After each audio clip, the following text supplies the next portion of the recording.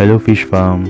Today's video I will be giving you an update with regard to this betta fish, my yellow fancy half moon plakat. So he is my quality fish that I got from a breeder and he is already conditioned for breeding but I have no plans yet and I'm feeding him with frozen bloodworms. So as you can see here in the corner, top corner, he already produces a bubble nest. It means that he is ready for breeding. And I have also placed some catappa leaves. So the water is color or it releases tannins on the water. So far, so good. He is very very healthy and eating very well.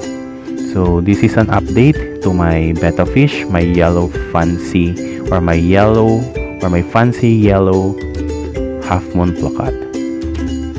So if you have any thoughts in this video, please feel free to comment, like and subscribe and I'll see you again next time. Bye guys! Happy fish keeping!